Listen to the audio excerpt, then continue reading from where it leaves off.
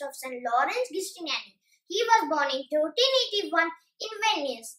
As a member of the well-known Giustiniani family, which includes several saints, the piety of his mother served him inspiration for his spirituality, and he led a life for prayers and service since very young age. In 1404, he joined a community of canons, regulars following monastic form of life.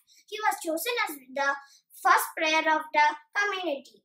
In 1451, Pope Nicholas appointed Giustiniani the first patriarch of Venice, post that he held over four years.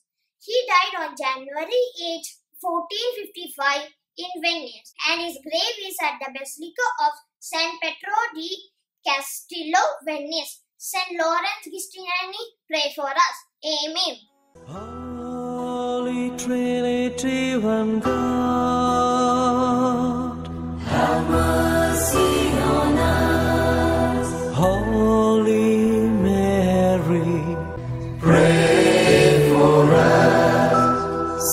Saint John the Baptist, Pray for us.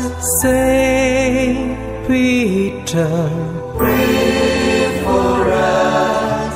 Saint Paul, Pray for us. Saint Matthew,